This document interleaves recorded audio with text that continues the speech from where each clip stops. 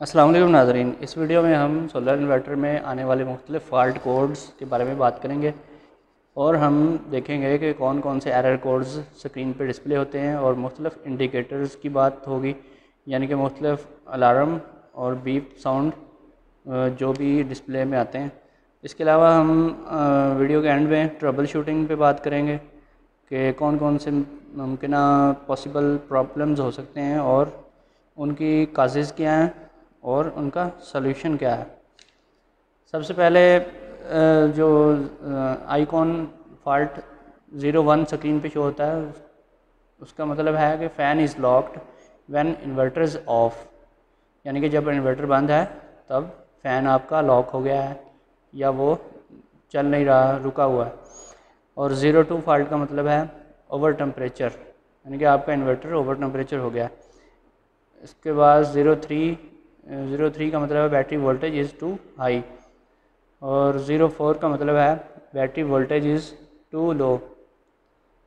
अगर icon flashing LCD पे आ रहा है ज़ीरो फाइव तो इसका मतलब है output shortcut, output short circuited or over temperature is detected by internal converter components, यानी कि शॉर्ट सर्किट या फिर ओवर टेम्परेचर का प्रॉब्लम है। और ज़ीरो सिक्स अगर शो हो रहा है तो फिर इसका मतलब है कि output voltage is too high यानी कि आउटपुट वोल्टेज जो है जो इन्वर्टर की आउटपुट है, वो बहुत ज़्यादा हाई है, जो इन्वर्टर ख़ुद प्रोड्यूस कर रहा है. ज़ीरो सेवन का मतलब है ओवरलोड टाइम आउट यानी कि काफ़ी देर गुज़र गई है ओवरलोड ओवरलोड में चल रहा है आपका इन्वर्टर और ज़ीरो एट है, bus voltage is too high और ज़ीरो नाइन का मतलब है बस सॉफ्ट स्टार्ट फेल्ड। और फिर है fifty one fault, over current or surge. Fifty two है, bus voltage is too low. Fifty three का मतलब है inverter soft start failed. Fifty five का मतलब है over DC voltage in AC output. Over DC voltage in AC output. 57 का मतलब है करंट सेंसर फेल्ड। और 58 का मतलब है output voltage is too low 59 59 जब आए तो फिर इसका मतलब है PV voltage is over limitation, यानी कि आपने सोलर प्लेट्स सीरीज़ में ज़्यादा इंस्टॉल कर दी हैं, या फिर रोशनी या धूप की शिद्दत की तेज़ी की वजह से वोल्टेज लिमिटेशन से भी क्रॉस हो गए हैं, जो उसकी लिमिट है इन्वर्टर की उससे ज़्यादा आ रहे हैं। इसके बाद हम मुख्तलिफ़ वार्निंग इंडिकेटर्स की बात करते हैं। यहाँ पे वार्निंग कोड ज़ीरो वन जो है अगेन वही बात है fan is locked when inverter is on जब इन्वर्टर ऑन करते हैं तो फ़ैन जो है वो लॉक रहता है। और आर्डिबल अलार्म्स का कौन सा आएगा? Beep three times every second हर एक सेकंड के बाद तीन बार बीप सुनाई देगी। Beep three times every second हर एक सेकंड में तीन दफ़ा बीप आएगी। और zero three battery is over charge zero three अगर फैल्ट कोड शो हो रहा है, इसका मतलब है आपकी बैटरी ओवर चार्ज हो रही है। और बीप वंस एवरी सेकंड हर एक सेकंड बाद बीप साउंड आएगी। ज़ीरो फोर का मतलब है कि बैटरी लो बैटरी है। लो वोल्टेज बैटरी है। बीप वंस एवरी सेकंड और अगर ओवरलोड है तो beep once every half second यानी कि फिर तेज़ी से बीप बार बार सुनाई देगी। इसका मतलब है ज़ीरो सेवन कोड है। Output power rating beep twice every three second तो पी आ, इसके बाद है G fifteen number one five P V energy is low P V energy is low P beep twice every three seconds तो यानी कि तीन सेकंड में भी दो दफ़ा आती है। तो इसके बाद G E nine battery equalisation, इसका कोई अलार्म नहीं है। और इसके बाद है जी बी पी यानी कि bipolar battery is not connected जब बैटरी कनेक्ट नहीं करते तो बी पी लिखा हुआ स्क्रीन पे आ रहा होता है और फ्लैशिंग आइकॉन होता है। इसके बाद हम देखते हैं कि इनकी ट्रबल शूटिंग कैसे करेंगे हम। इसकी प्रॉब्लम सबसे पहले प्रॉब्लम देखते हैं, वो ये है कि unit shuts down automatically during startup process unit अचानक बंद हो जाता है तो स्टार्ट होने के दौरान। इसकी वजह यह है कि L C D L E D and buzzer will be active for three seconds and then complete off अच्छा ये इसकी इंडिकेशन है कि एल सी डी और L E D L L C D यानी कि एल ई डी स्क्रीन जो है और बज़र वो भी एक्टिव रहेगी तीन सेकंड तक, उसके बाद बंद हो जाएगी और सिस्टम ऑफ़ हो जाएगा। इसकी पॉसिबल काज जो है, वो ये है कि battery voltage is too low यानी कि 1.9 वोल्ट पर सेल अगर आप बारह वोल्ट का इन्वर्टर यूज़ कर रहे हैं तो फिर 11.46 वोल्ट होंगे तो आपका इन्वर्टर स्टार्ट नहीं होगा। कि स्टार्ट करते ही वो फ़ौर बैटरी 11.4 से नाइन वोल्ट पे आ जाएगी और तीन सेकंड के अंदर अंदर नाइन वोल्ट पे आ जाएगी और फिर सिस्टम ऑफ़ हो जाएगा।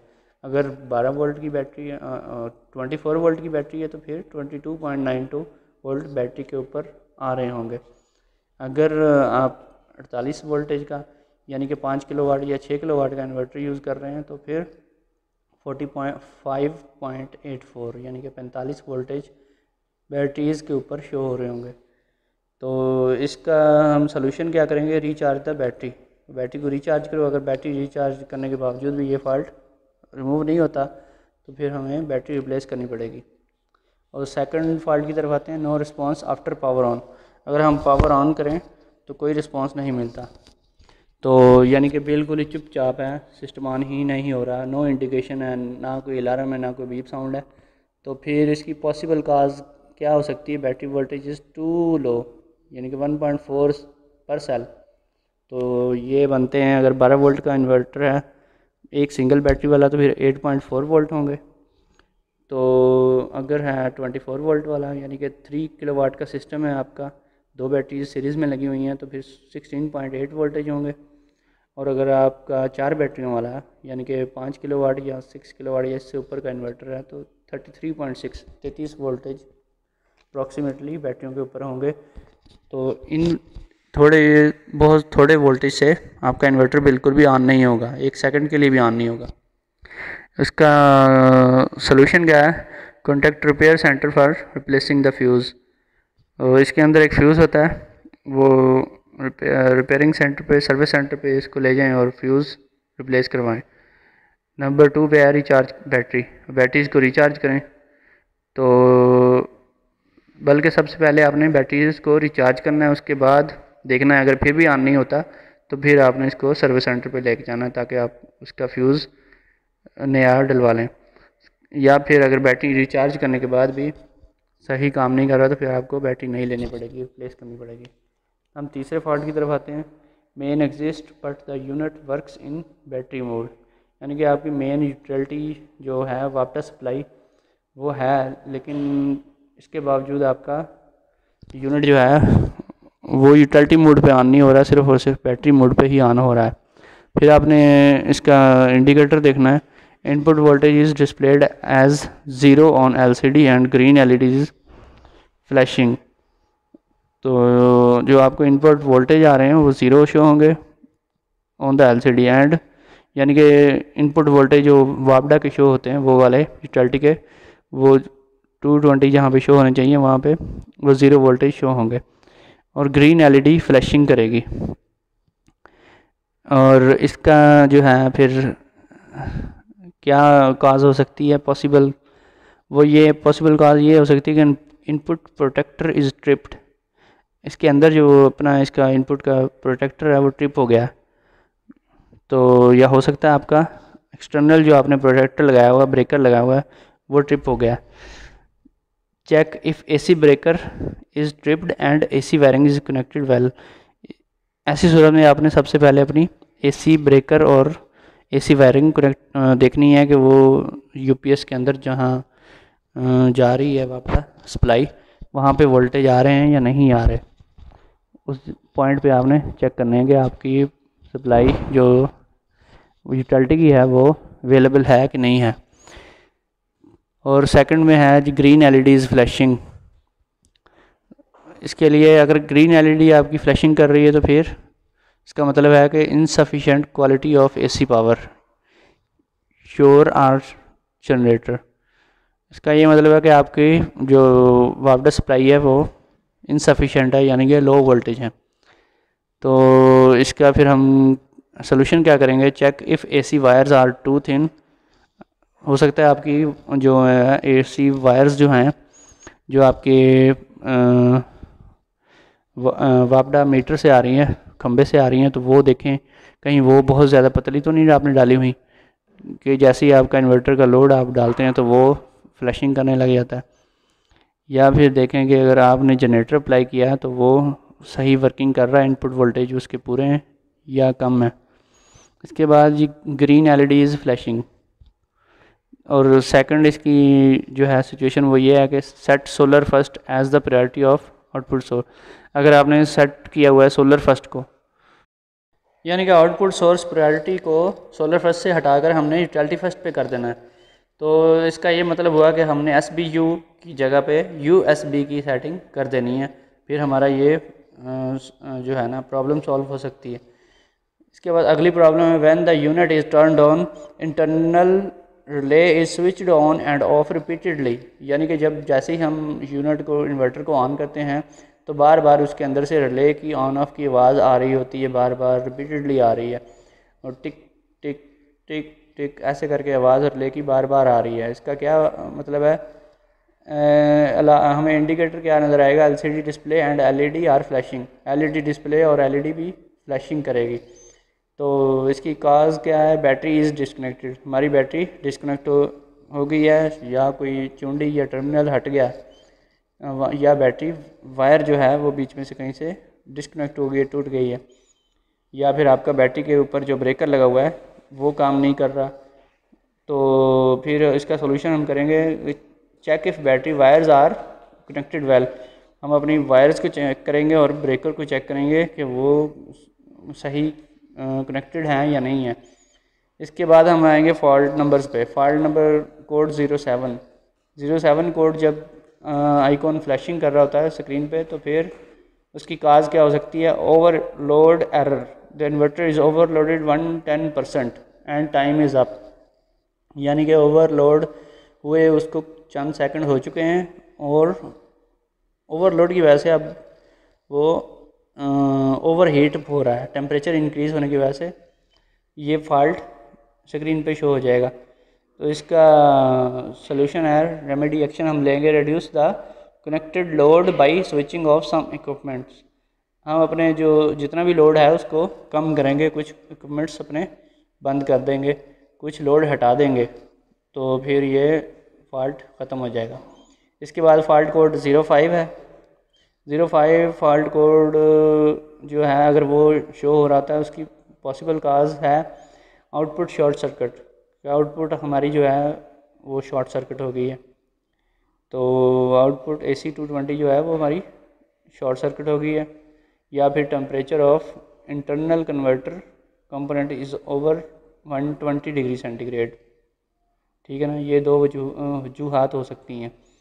तो इसका सोल्यूशन क्या है? Check if wiring is connected well and removal remove अब नॉर्मल लोड जो हैवी लोड है, हमने डाला हुआ उसमें से जितना भी हैवी लोड है, वो हम रिमूव कर देंगे। और वायरिंग को कनेक्ट चेक करेंगे, वो शॉर्ट सर्किट तो नहीं है। और फिर चेक अगर नीचे दो कंडीशंस हैं टेम्परेचर अगर बढ़ता है, और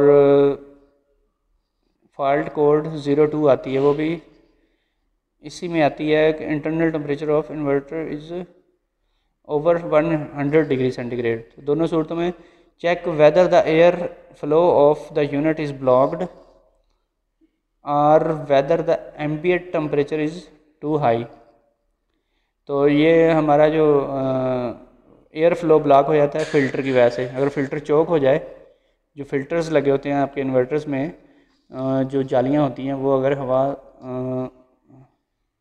हवा में आने वाली डस्ट की वजह से वो ब्लॉक हो जाएँ चोक हो जाएँ तो फिर हमारा जो है इन्वर्टर ओवर ओवर टम्परेचर हो जाएगा ओवर हीट हो जाएगा। तो फिर उनको हम साफ़ करके दोबारा लगाएँगे तो उम्मीद है कि हमारा फॉल्ट रिमूव हो जाएगा। अच्छा इन फॉल्ट्स में buzzer beeps continuously and red LED is on ये fault seven five two three one और नीचे जितने भी फॉल्ट्स हैं फॉल्ट कोड्स सिक्स या fifty eight eight nine fifty three fifty seven fifty one fifty two fifty five ये जितने भी फॉल्ट्स हैं इनमें रेड एलईडी ऑन हो जाती है और बज़र बीप कंटिन्यूसली होती है। तो इसके बाद फॉल्ट नंबर थ्री पे आएँगे ज़ीरो थ्री पे battery is over charge battery voltage is too high यानी कि बैटरी बहुत ज़्यादा चार्ज हो गई है, इस वजह से बैटरी के वोल्टेज हाई हो गए हैं। ये पॉसिबल एक रीज़न हो सकती है। तो इसका सोल्यूशन क्या करेंगे हम? Return to repair center repair center में जाएँगे, उसको इन्वर्टर को चेक करवाएँगे कि ओवर चार्जिंग क्यों कर रहा है। और दूसरे नंबर पे check if specification and quantity of batteries are meet requirements यानी कि बैटरीज जो हमने कनेक्ट की हुई हैं, वो उनको चेक करेंगे। कोई हाई वोल्टेज की बैटरी तो नहीं है लगाई हुई। यानी कि अगर 12 वोल्ट की बैटरी लगानी है तो कहीं वो 14 या 15 या 16 वोल्ट की तो नहीं कनेक्ट कर दी। तो आया कि बैटरी की जो वोल्टेज हैं, वो ज़्यादा वोल्टेज की बैटरी तो नहीं लगाई, या फिर अगर चार बैटरीज वाला इन्वर्टर है तो उसके अंदर सीरीज़ में पाँच बैटरीज तो नहीं लगा दी। तो इसके बाद फॉल्ट कोड ज़ीरो वन ये फ़ैन फॉल्ट है। उस, उसका सीधा सा काम है कि इसको सर्विस सेंटर ले जाएँ और रिप्लेस करवा दें इसका फ़ैन इसके बाद फॉल्ट कोड सिक्स और फिफ्टी एट ये दोनों फॉल्ट कोड्स इकट्ठे ही हैं। आउटपुट अब normal inverter voltage below than 190 volt AC or is higher than 260 volt AC यानी कि या तो इन्वर्टर की जो आउटपुट है, वो एक सौ नब्बे वोल्ट से कम है या फिर 260 वोल्ट से ज़्यादा है। तो इसका सोल्यूशन क्या है? Return to the connected reduce to the connected load सबसे पहले कनेक्टेड लोड को कम करेंगे, जितना लोड हमारा रनिंग में है। उसके बाद फिर, अगर फिर भी सॉल्व नहीं होता तो फिर रिटर्न टू रिपेयर सेंटर फिर सर्विस सेंटर ले जाएँगे, फिर वहाँ से इसको ठीक करवाएँगे। Fault code eight zero eight zero nine या फिर फिफ्टी थ्री या फिफ्टी सेवन ये चार फॉल्ट कोड्स हैं। इनके सेम जो है काज हो सकती है इंटरनल कंपोनेंट्स फेल्ड यानी कि अंदर कोई आईसीज इसके जल गए हैं। या कोई रजिस्टेंस ख़राब हो गई हैं तो फिर रिटर्न टू रिपेयर सेंटर ऐसी सूरत में हम सर्विस सेंटर अपने इन्वर्टर को ले जाएँगे। अब है फॉल्ट कोड 51 तो ऐसी सूरत में ओवर करंट और सर्ज यानी कि इसकी पॉसिबल काज जो है वो ओवर करंट या फिर सर्ज हो सकती है। तो इन्वर्टर को रीस्टार्ट करेंगे। फॉल्ट कोड 52 बस वोल्टेज इज़ टू लो तो फिर भी इन्वर्टर को रिस्टार्ट करेंगे। अगर फॉल्ट नंबर 52 आए तो। Fault code 55 output voltage is unbalanced unbalanced यानी कम कम बेश हो रहे हैं कभी ज़्यादा हो रहे हैं कभी कम हो रहे हैं। और एक जगह पे रुक नहीं रहे। यानी अगर 220 हैं तो 220 पे उन्हें रहना चाहिए। तो फिर फिर रिस्टार्ट करके देखेंगे। अगर प्रॉब्लम सॉल्व ना हुई इन तीनों फॉल्ट कोड्स में 51, 52 और 55 में। रीस्टार्ट करेंगे। अगर रीस्टार्ट ना ना सही हुआ तो फिर सर्विस सेंटर में लेके जाएँगे। तो गाइस आपको आज की वीडियो कैसी लगी? अगर आपको वीडियो अच्छी लगी तो मेरे चैनल को सब्सक्राइब कर लें ताकि मेरी हर आने वाली नई वीडियो आपको टाइम टू टाइम मिलती रहे। ओके अल्लाह हाफ़िज़।